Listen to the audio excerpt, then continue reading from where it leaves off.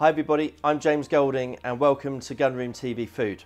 So today we're going to be working with venison and as you can see this is a huge piece of venison. So I think they call this a uh, Flintstone steak and this is from Creech Hill Butchers. Um, thank you to Bill for, for giving us this fantastic piece of meat. And um, usually with venison, you know, I'd probably cook this on a barbecue and do all, all sorts of things with it. But today I'm actually going to do a venison tartare. And it's one of my favourite dishes uh, to do at this time of year. So we're not quite into autumn yet. Uh, there's still some warmer days. So I thought it'd be quite nice to do a dish that you can use the venison for all year round because this is available all year round as we all know. So I'm just going to talk through some of the ingredients that you're going to need for this dish. So we've got some capers, flat leaf parsley, gherkins. I've got a small onion here, but you can use shallot. Uh, Worcestershire sauce, a little bit of hot sauce. You can use Tabasco, but for this I quite like using Cholula. We've got some pepper, some mustard, which I'm going to talk about in a minute. A little bit of added extra. Uh, we've got this fantastic uh, black truffle here from the Meon Valley Truffle Company. And ketchup. Now, Ketchup's a bit of a weird one. Some people like it in their tartare, some don't. Personally, I really like it. It takes me back to my days working at Le Caprice. We used to make my favourite uh, beef tartare and we'd always add in a little bit of ketchup and it just adds a nice bit of acidity to it. To that, I'm going to be serving it with some sourdough uh, toast because that works really well. And we're going to finish it off by plating it and, and grating some of this amazing truffle over the top. So let's get cracking. What we want to do with the meat is find a nice part of the steak which has the least amount of sinew. So when you're looking at the meat, you can kind of see where that's going to be. Obviously, you don't want to be cutting any pieces of meat off that have, you know, the sinew running through it. So what I'm going to do is separate off this large muscle here simply by cutting through the natural joins now, some people call this seam butchery, but basically all you're doing is looking for any large sort of areas of, of sinew. I might actually take off this piece here as well, so that we've got a good amount of meat. So I'm going to trim that. I'm actually going to keep this now. I mean, if you think about the size of that, that's actually a perfect size of uh, uh, venison steak for two there. So we're going to keep that, and I might do another video on that at another time. So we're going to trim this. You don't want any of the fat. I never thought I'd say that. But um, usually I like to keep fat on my food, especially when I'm cooking it. As we all know, venison is very lean meat. There's not a lot of fat on it. So it's quite important when you're cooking venison to leave as much of that fat on as possible. You can see here, look, there's a little natural join. I'm just going to trim that off because that will contain a little bit of sinew. So let's have a look. I don't know if you can see that, but that's that's really lovely. There's a little bit of fat just running along the outside, but that's not a problem. Check over, there we go. See that? That's got some sinew, so just with a sharp small knife, cut that off. And make sure you keep all your trimmings. You know, you can chop these up, fry them off, put them through sauces, all that sort of stuff. So never throw any of the meat away. It's very important to keep as much of it as possible. So if you have a mincer, which I don't, you can run this through a mincer on a coarse setting, but traditionally tartare was always chopped. So we've got this fantastic uh, sharp knife here from Marmaduke Knives. Great knife, all handmade. This is super sharp, so this is carbon steel. This works really well for chopping meat like this. Um, you can see the colour on this. I mean, for, for anybody who hasn't tried venison, you really need to get some of this in your life. It's, it's absolutely great all throughout the year. It's a fantastic wild alternative to beef. Um, as we all know, beef can be reared and sort of fattened in a lot of ways that aren't necessarily great for us. So eating wild meat like venison, which has obviously lived out in the wild, grazed off the land, is a really, really good way of, uh, of making sure that anything that's going in your body is uh, of a very high and, and, natural sort of standard. So I've just shredded that down. As you can see now, I'm just sort of dicing it, almost mincing it myself with the knife. And so while you're doing this, you can actually look through the meat to see if there's any little bits of sinew, but I think we're looking pretty good with this. It's a fantastic quality. And I believe this is um, from Hampshire, so just over the border from us here in uh, Christchurch. So mince this down. If you're going to be doing this ahead of time, it's quite important to um, have your bowl sat on ice because you're going to want to keep this nice and cold. So we're running our knife through this. So there we go. So it's it's nicely sort of roughly chopped. This is going into our bowl. So goes. Set that to one side. We'll have a good clean down. Okay, so it's time to get our garnishes ready. Before we start chopping everything up, I'm just going to get the sourdough ready to go.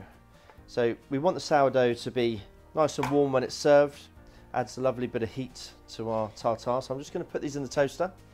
Give them a little flash. So we have our meat nicely chopped there.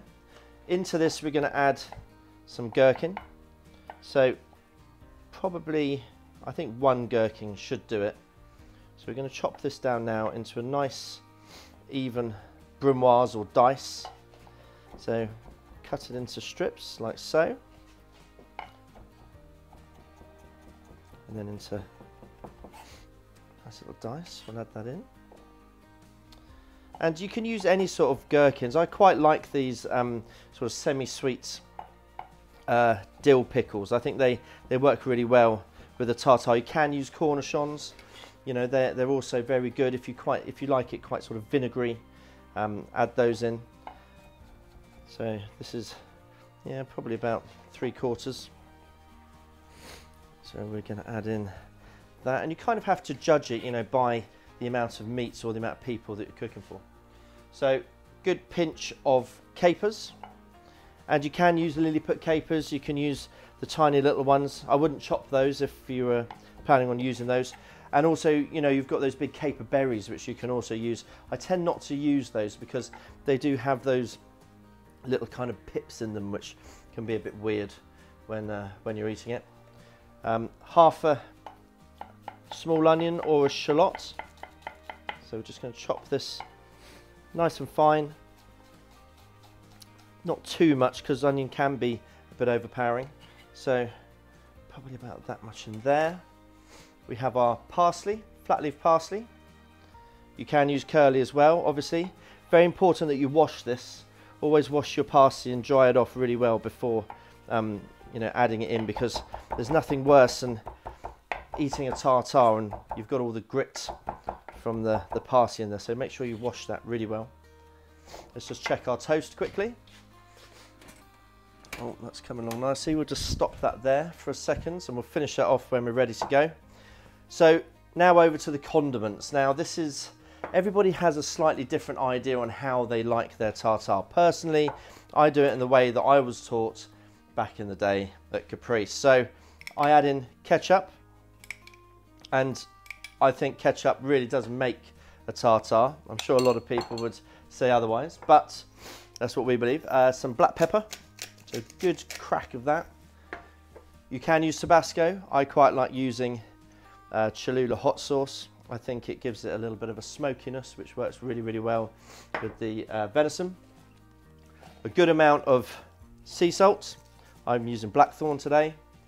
And uh, big shout out actually to Sam and Shauna from um, Hangfire Barbecue. They gave my wife Erica this um, incredible truffle mustard for her birthday and it is stunning. It's a Dijon mustard that's basically mixed with uh, a bit of truffle and it works so well in this dish. So we're going to put a good amount of that in there as well.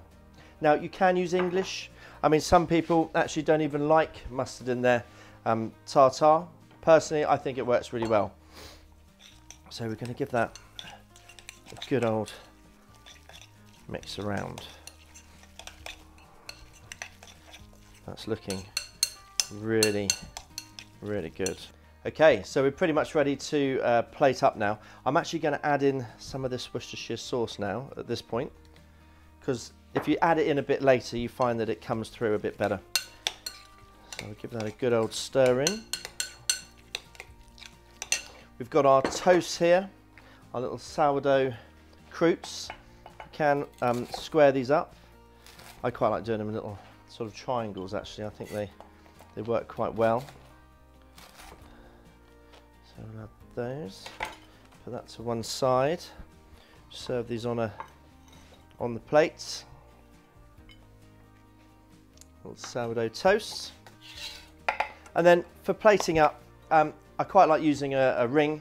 If you've got any moulds, that's great. We've actually don't have any moulds, so I've I've taken um, my wife's cake uh, form here, which will work perfectly. I'm sure she'll love that, but using the venison tartare in there.